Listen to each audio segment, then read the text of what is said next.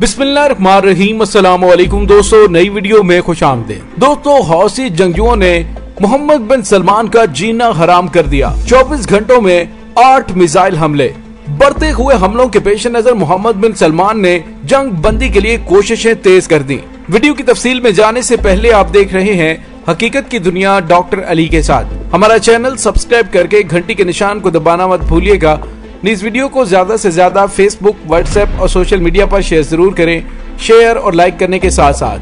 Comment box میں پاک فوج زندہ باد، پاکستان پائندہ باد۔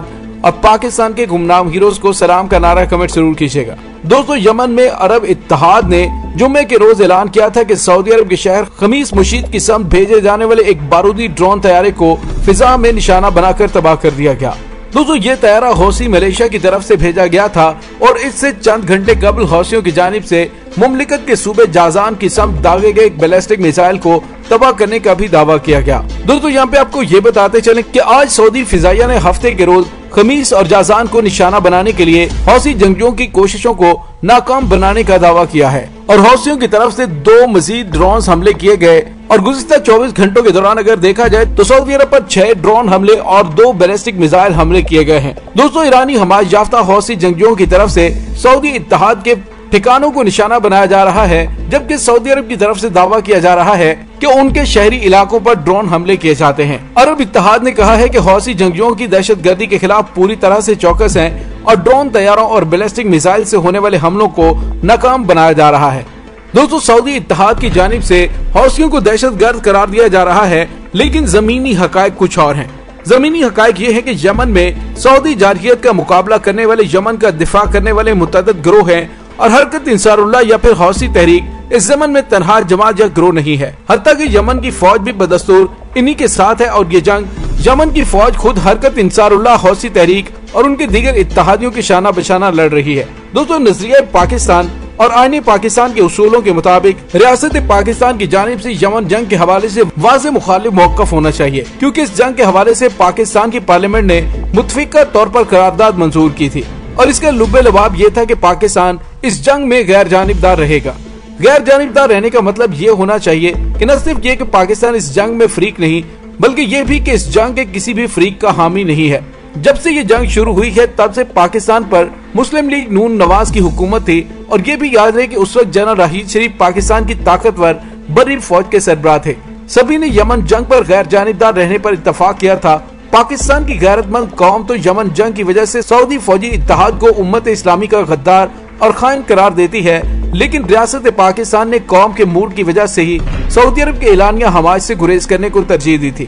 لیکن ایک طویل عرصے سے دیکھا جا رہا ہے کہ سعودی عرب اور اس کے اتحادی ممالک کی طرف سے شروع کردہ اس جنگ کی مذمت کرنے کی بجائے یمن کا دفاع کرنے والے یمنیوں کی مذمت کی جا رہی ہے۔ یہ انتہائی غیر منصفانہ موقف ہے اور اس موقف کے ساتھ ریاست پاکستان کشمیر کا مقدمہ ہرگز نہیں لڑ سکتا، بلکہ یہ کشمیر ایشو پر پاکستان کے موقف کو کمزور کرتا ہے۔ کشمیر انٹرنیشنل لا کے مطابق ایک متنازع علاقہ ہے، جبکہ یمن تو ایک آزاد اور خود مختار ملک ہے۔ دوستو پاکستان کشمیر کے ایشو پر بھارت کے کنٹرول کو غیر ملکی ناجائز قبضہ کہہ رہا ہے، تب بھی دنیا اس موقف کو نہیں مانتی۔ لیکن یمن پر سعودی اور اماراتی یا دیگر اتحادی ممالک کا حملہ کھلی جارحیت اور یلغار ہے، جو انٹرنیشنل لا کے مطابق سرین غیر قانونی عمل ہے۔ یمن جنگ کی وجہ سے عالمی رایامہ سعودی عرب اور اس کے فوجی اتحاد کی شدید مخالف ہے، حتیٰ کہ یمن پر سعودی جارحیت کی مدد اور حمایت کرنے پر امریکہ اور یورپی ممالک کے عوام اور حقوق انسانی کی تنظیمیں بھی شروع سے ہی مخالف ہیں۔ اور وہاں اتنا دباؤ ہے کہ وہاں کی حکومتیں بھی خود کو چھپانے پر مجبور ہیں۔ یمن پر اگر سعودی جارحیت کی مذمت سے ریاستی حکام گریزہ ہیں، تو کشمیر پر پاکستان کے موقف کی حیثیت کیا رہ جائے؟ گی دوستو، یمن کے معاملے میں پاکستانی میڈیا کو دونوں طرف کی تصویر دکھانی چاہیے، نہ کہ ایک طرف کے حقائق بیان کیے جائیں۔ دوستو، اس وقت سعودی فوجی اتحاد بری طرح سے ناکام ہو چکا ہے اور پوری دنیا سے اس کی نہ صرف مذمت کی جا رہی ہے، بلکہ حوثیوں کی جانب سے آل سعود کی مرمت بھی کی جا رہی ہے۔ دوستو، اگر پاکستان کے اصولی موقف کو دیکھا جائے تو پاکستان سعودی اتحاد کے یمن پر حملے کو ناجائز سمجھتا ہے۔ اسی وجہ سے پاکستان کی اعلیٰ قیادت نے پارلیمنٹ کی قرارداد آنے کے بعد سعودی بادشاہت نے ریاست پاکستان کے اعلیٰ ترین حکام تک اپنے غصے کا اظہار کیا تھا۔ پاکستانی قوم تو کیا پوری دنیا کے باشعور انسان جانتے ہیں کہ متحدہ عرب امارات کے وزیر مملکت انور کرکاش نے اعلان پاکستان کو یمن جنگ میں غیر جانبدار رہنے کی بھاری قیمت ادا کرنے کی دھمکی دی تھی۔ بجائے ان دھمکیوں کا منہ توڑ جواب دینے کے، پاکستان نے سعودی عرب اور متحدہ عرب امارات کے شاہ و شوق کے آگے سر تسلیم خم کیا۔ دوستو، چاہیے تو یہ تھا کہ پاکستان، سعودی عرب اور متحدہ عرب امارات کو منہ توڑ جواب دیتا۔ آج سعودی اتحاد کی وحشانہ بمباری کے نتیجے میں پیدا ہونے والے یمن کی سرزمین میں تاریخ کے سب سے بڑے المیہ کی مذمت کرنے کی بجائے پاکستان کی جانب سے بھی، حوثی جنگیوں کی جانب سے رد عمل میں جو اکا دکا حملے کیے جاتے ہیں ان کی ہی مذمت کی جاتی ہے۔ پاکستان ایک نیوکلیر پار ہے اور ایک بڑے اسلامی ملک اور موسٹ پاورفل ملک ہونے کے ناطے پاکستان کو اپنا ٹھوس اور واضح موقف اختیار کرنا چاہیے تاکہ پتا چلے کہ پاکستان کس پوزیشن پر کھڑا ہے۔ دوستو، سعودی عرب اور متحدہ عرب امارات جب مقبوضہ بیت المقدس کے غاصب ناجائز قابض اسرائیل کے ساتھ مل چکے ہیں، تو پھر پاکستان کو بھی اپنا اصولی موقف اختیار کرنا چاہیے۔ کیونکہ متحدہ عرب امارات اور سعودی عرب نے کشمیر کے معاملے میں او آئی سی کا اجلاس نہیں بلایا تھا، جس کی وجہ سے وزیر خارجہ شاہ محمود قریشی نے دو ٹوک موقف اختیار کرنے کے لیے کہا تھا۔ دوستو، گزشتہ بار جب سعودی عرب میں جی ایٹ کانفرنس ہونے جا رہی تھی، تو انسانی حقوق کی تنظیموں نے جی ایٹ ممالک کے سربراہوں پر زور دیا تھا کہ وہ سعودی عرب کو اسلحے کی فروخت روکیں۔ سعودی عرب کو یمن میں جارحیت بند کرنے کے لیے قائل کریں، کیونکہ یمن میں سعودی حملوں کے باعث ہزاروں بچے متاثر ہو رہے ہیں، لیکن سعودی عرب کے خلاف کوئی بات نہ ہوئی اور سعودی مظالم کا سلسلہ ہنوز جاری ہے۔ یمن میں یمنی عوام کی استقامت نے سعودی عرب کو شکست سے دوچار کر دیا ہے اور اب سعودی عرب کی یمن میں شکست کے بعد لگتا ہے کہ امریکہ سعودی عرب کو کسی اور محاذ پر الجھانا چاہتا ہے۔ یہ نیا محاذ کون سا ہوگا؟ یہ امریکہ کی نئی سعودی پالیسی کے خدوخال واضح ہونے پر کھل کر سامنے آ جائے گا۔ لیکن یہ حقیقت ہے کہ ابال سعود کو اپنی غلط پالیسیوں کی وجہ سے نہ صرف خطے میں تنہائی کا سامنا ہے، بلکہ یمن کے حوثیوں کی جانب سے بھی سعودی درندازی کا ایسا منہ توڑ جواب دیا گیا ہے جس سے یوں لگ رہا ہے کہ محمد بن سلمان باقاعدہ طور پر شکست تسلیم کرنے کی بجائے امریکہ اور دیگر ممالک کو درمیان میں ڈال کر باعزت طریقے سے یمن کی جنگ سے نکلنا چاہتے ہیں۔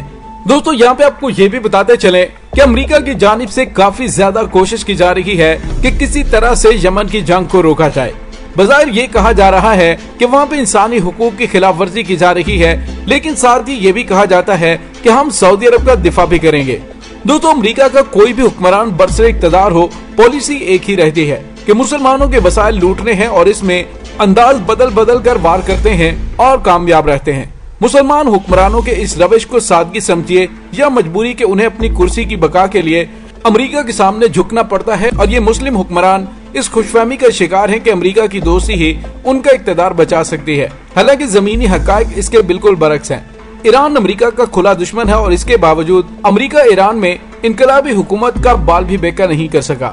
ہزار کوششوں کے باوجود وہاں احتجاج کی لہر کامیاب ہوئی ہے، نہ ہی دوسری سازشیں کوئی نتیجہ دے سکیں۔ امریکہ کے اربوں روپے کی سرمایہ کاری ڈوب گئی اور اس سے مسلم حکمرانوں کو امریکہ کی بے بسی کا اندازہ ہو جانا چاہیے۔ امریکہ کا سپر پار ہونے کا دعویٰ کھوکھلا ہے، جس کی بنیاد ریت پر کھڑی ہے۔ دوستوں اس کے ساتھ ہی ڈاکٹر علی کو اجازت دیجیے انشاءاللہ بہت جلد ملتے ہیں ایک نئی ویڈیو میں۔ تب تک کے لیے اپنا بہت سارا خیال رکھیے گا۔ پاک فوج زندہ آباد پاکستان پائندہ آباد پاکستان کے گمنام ہیروز کو سلام۔ اللہ وارث